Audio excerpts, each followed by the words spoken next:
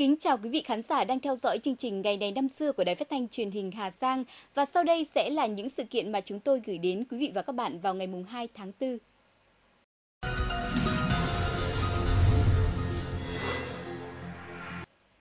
Thưa quý vị, là một nhà văn nổi tiếng thế giới với những chuyện viễn tưởng cổ tích cho thiếu nhi, cốt truyện hấp dẫn, lối kể sinh động, màu sắc hư ảo và chất nhân văn, sự thông minh và ngộ nghĩnh đó là cơ sở tạo nên sức sống lâu bền cho các truyện cổ tích của ông. Chúng tôi muốn nhắc đến nhà văn Andersen, người có đóng góp lớn cho văn hóa nhân loại và vì tinh thần nhân văn. Năm 1955, Tổ chức Hòa bình Dân chủ Thế giới đã tổ chức kỷ niệm trọng thể nhân kỷ niệm 150 năm ngày sinh của ông.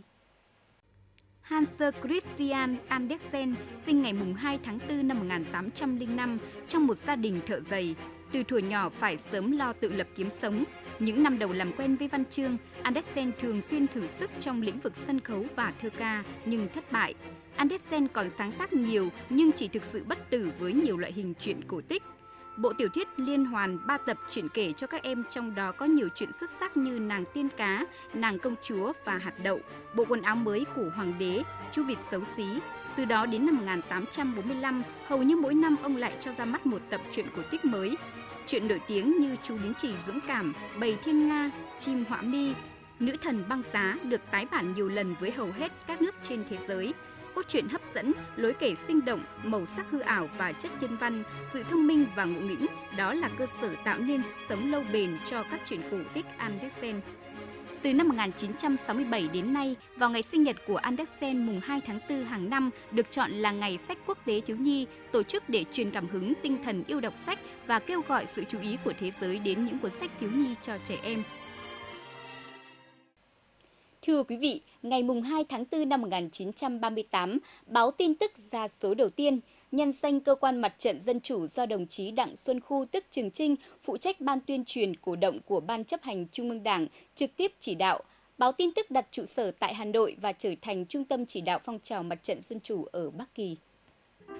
Lúc đầu, báo ra hàng tuần, sau đó tuần ra hai số, báo thường ra 4 trang, có số 2 trang, có số 8 trang, báo ra được 43 số. Ngoài ra, báo còn có tờ phụ trương tin tức lý luận ra được 4 số. Trung bình mỗi số báo in từ 5 đến 6 nghìn bản. Những người viết bài cho báo thường là những cây bút quen thuộc của các tờ Hà Thành Thời báo, Thời Thế, Thế Giới. Báo tin tức đã khéo léo truyền bá những quan điểm Marxist và chủ trương chính sách của Đảng với danh nghĩa mặt trận dân chủ,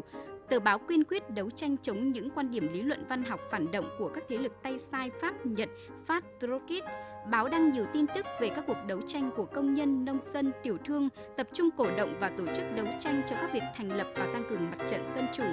bộ phận hoạt động công khai của Đảng với từ tin tức đã có ảnh hưởng lớn trong quần chúng nhân dân. Báo tin tức góp phần trực tiếp dẫn đến sự ra đời của Mặt trận Dân chủ Đông Dương ở Hà Nội và nhóm Cộng sản công khai của báo tin tức là nòng cốt lãnh đạo phong trào Mặt trận Dân chủ ở Hà Nội. Do ảnh hưởng lớn của tờ báo tin tức đối với phong trào cách mạng, ngày 15 tháng 10 năm 1938, toàn quyền Đông Dương thu hồi giấy phép xuất bản của tờ báo. Tuy tồn tại 8 tháng, nhưng tờ báo đã góp phần to lớn vào phong trào đấu tranh dân chủ thời kỳ năm 1936-1939.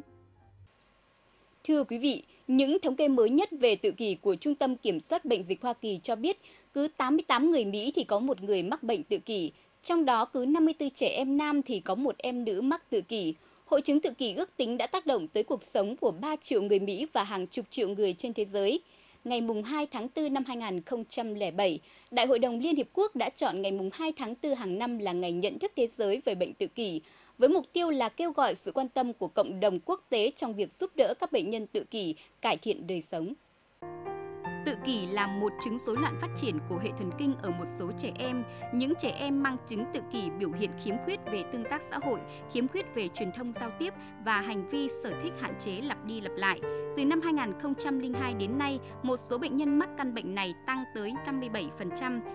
Đáng chú ý, số trẻ em mắc căn bệnh này mỗi năm cũng tăng rất cao, vượt qua tổng số trường hợp mắc căn bệnh S, tiểu đường, ung thư cộng lại. Nhân ngày nhận thức thế giới về bệnh tự kỷ năm nay, Liên Hiệp Quốc phát động chiến dịch kêu gọi 7.000 tòa nhà và công trình kiến trúc nổi tiếng tại 90 quốc gia trên toàn thế giới đồng loạt thắp đèn xanh lam, sắc màu biểu tượng cho việc nâng cao nhận thức về bệnh tự kỷ. Quý vị và các bạn thân mến, chương trình ngày này năm xưa hôm nay xin phép được khép lại tại đây. Kính chào tạm biệt và hẹn gặp lại quý vị và các bạn vào khung giờ này ngày mai.